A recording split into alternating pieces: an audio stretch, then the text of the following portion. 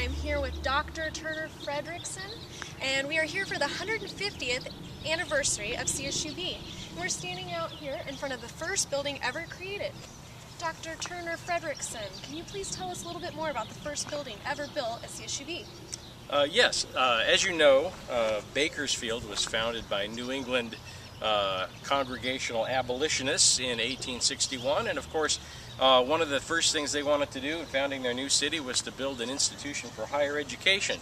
Uh, and so almost immediately after the founding of the city, they came out here and built this beautiful red brick edifice that you see before us here, uh, reflecting the Gothic architectural style that was so popular in those days. Uh, this is the oldest standing building on campus, and it's known as Old Main. It was the building that housed the administration and the classrooms. Hello, welcome back. We are with Professor Henrik Fredrickson, and we have moved on into what's now known as CSUB's headroom. So, tell us a little bit about this. Well, this is really one of the features of the, university that we're most proud of. Uh, it's the uh, Memorial Hall of Horned Heads, and uh, it uh, has an interesting story attached to it. Uh, in 1893, this is in the, the depths of the, uh, the, financial panic of the late 1890s, the, the, campus was very short on funds, and the biology department lamented the lack of uh, specimens and examples and things uh, for the instruction of students in mammalogy. Uh, it just so happens, as a stroke of great fortune, uh, a circus train on the Santa Fe Railway near here derailed, uh, setting all these various uh, ungulates and hoofed mammals loose on the farm fields surrounding Bakersfield, where they became a nuisance for our local farmers. And uh, so they were very happy when uh, students from the university, under the direction of uh, Professor Ted Murphy, the founder of the biology program here, uh, went out and uh, shot these animals, uh, had them stuffed and mounted for instructional purposes. and now it becomes really one of the, the wonderful centerpieces of, our, of our campus. Wow, such a tragic history for these animals.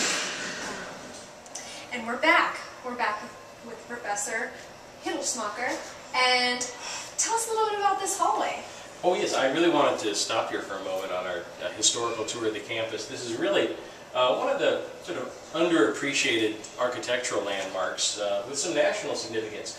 Uh, this is a skyway, uh, and because you know uh, Bakersfield's very cold, icy, snowy climate, you know we're snowed under here four months out of the it year every winter. Freezing yeah, it was very difficult for people to get back and forth, and uh, we had uh, some administrators in the early years who uh, had, had, migrated here from warmer climates.